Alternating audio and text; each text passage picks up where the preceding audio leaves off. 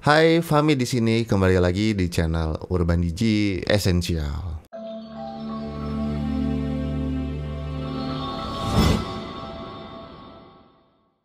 Oke, di video kali ini kita bakal membahas lagi sebuah mic dari Maono. Ini mic-nya tipe paling tertingginya dari Maono dan inilah dia Maono PM 500. Sebelum kita lanjutkan videonya, buat kalian yang belum subscribe channel ini, nggak ada salahnya buat subscribe dan nyalakan lonceng notifikasinya. Karena di channel ini banyak sekali review-review produk entah itu untuk home recording atau untuk live streaming yang sekarang lagi ngehits ya kayak TikTok atau Instagram Live atau Bigo mungkin kita bahas banyak di sini terus ada juga pembahasan mengenai mic, uh, headphone dan uh, perangkat-perangkat audio ya untuk kebutuhan home recording kalian. Kita lanjutkan untuk pembahasan mengenai PM500 seperti biasa yang pertama kita akan lakukan unboxing apa aja yang ada dalam boxnya. Jadi ini boxnya cukup besar ya. Box dari Maono PM500 seperti biasa warna dari Maono ciri khasnya hitam dan orange. Ada gambar mic-nya dan tipenya Maono PM500 dan ini boom arm bundle. Yap, kalian udah dapat boom arm dalam paket penjualannya. Jadi isi dalam boxnya kalian akan menemukan yang pertama user manual. Kalian dapat user manualnya. Yang selanjutnya kalian dapat mic dengan desain shockmount yang keren deh. Seperti ini. Jadi shockmountnya itu model terbaru dari Mono. Ada logo Maono-nya manis banget di depan. Terus yang jadi selling pointnya menurut saya bentuk pop filternya itu sangat futuristik ya ya lebih simpel aja sih daripada yang bulat gitu kan model seperti ini kayak lebih clean dan terlihatnya lebih lebih bersih aja nggak nggak nutupin muka gitu kalau misalnya kalian pakai untuk bikin podcast atau apa pun dan fungsinya juga tidak mengurangi ya walaupun bentuknya bentuknya seperti ini fungsinya sendiri uh, tidak mengurangi untuk pop filternya. Jadi kalau pop filter gitu kan untuk uh, mereduksi suara-suara kayak pop pop pop pop uh, si suara-suara itu kan bakal bikin kayak noise yang uh, bukan noise ya kejutan-kejutan suara yang nggak enak didengar lah. Makanya dibu dipakaikan pop filter seperti ini. Nah terus untuk bentuk mic-nya sendiri ini pipi ya modelnya pipi biasanya mono ini bulat cuman untuk yang PM500 modelnya pipi seperti ini. Untuk desainnya sendiri eh sorry untuk materialnya sendiri ini full metal full metal ya untuk meshnya meshnya juga metal bodinya metal terus ada logo mono di depannya.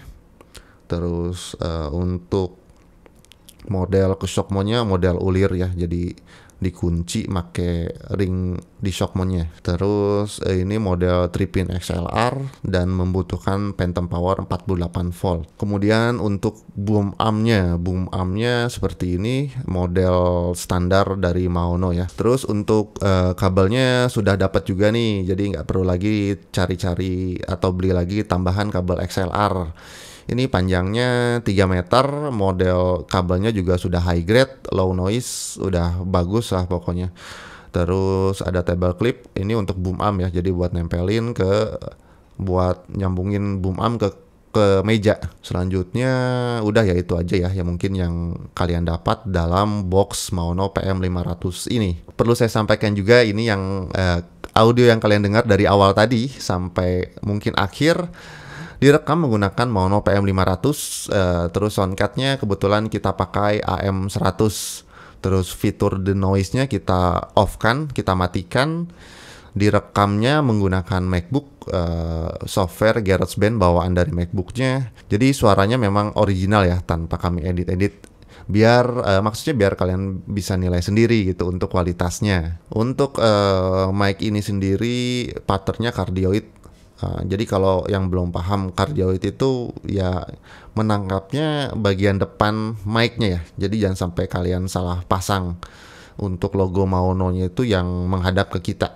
Terus untuk uh, apa namanya range-nya kira-kira sekitar efektif di 5 sampai 15 cm ya untuk mic-nya. Jadi saya ngomong ini sekitar setengah jengkal jadi mungkin sekitar 10 sentian lah. Terus kalau saya agak mundur gitu. Satu jengkal dari mic suaranya seperti ini dengan nada suara yang sama seperti yang tadi. Terus kalau saya coba mundur lagi untuk sensitivitasnya ya kita coba sensitivitas mic-nya sekitar dua jengkal nih. Ini dua jengkal suara yang kalian dengar seperti ini. Terus kalau saya mundur lagi mundur lagi sekitar satu tangan saya sekitar 50 cm ya. 50 cm suara yang kalian dengar seperti ini. Nah, untuk kardioid kita perlu juga tes dari samping mic suaranya seperti ini. Oke, terus kita cobain dari belakang mic-nya. Suaranya seperti ini ya.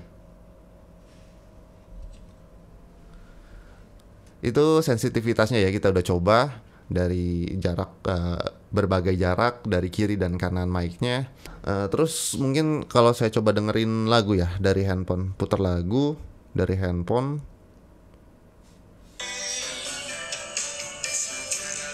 Ini dari belakang mic ya, si suaranya muncul dari belakang mic.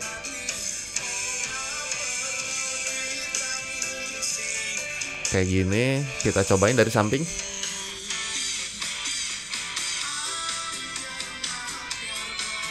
Ini dari samping, terus kita cobain dari atas.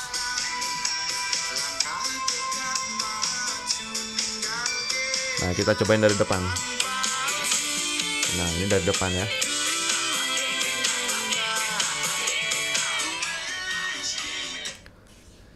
Oke, mungkin itu aja ya pengetesannya ya. E, karena untuk lab diagram nih sebenarnya lebih e, buat yang keserius sih le yang lebih ke serius buat bikin podcast atau mungkin bikin uh, musik cover gitu. Tag vokal pakai mic ini ini wah pasti hasilnya keren banget. Makanya mungkin nanti ke depannya saya cobain mic Maono PM500 ini buat tag vokal kali. Karena sebelumnya kita pernah coba juga ya untuk tag vokal menggunakan Maono A03 pakai soundcardnya AM200 itu pertama kali kita bikin video review tentang Maono Terus kita pernah juga coba untuk USB mic-nya ya Maono Fairy AU903 uh, itu juga keren hasilnya. Dan yang ini uh, Maono PM500 pakai soundcard AM100 uh, kualitasnya bakal seperti apa pastinya kalau menurut saya sih pasti bakal bagus banget deh.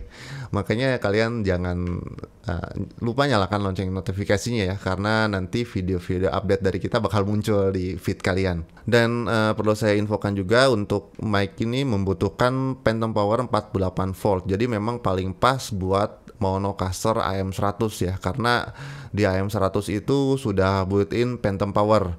Kalau di monocaster AM200 itu belum ada phantom powernya. Jadi kalian butuh alat tambahan kalau misalnya penasaran banget buat pakai mic ini gitu. Perlu tambahan phantom power. Dan yang pasti alat ini juga bisa masuk ke soundcard mana pun ya karena kan standar XLR 3 pin gitu.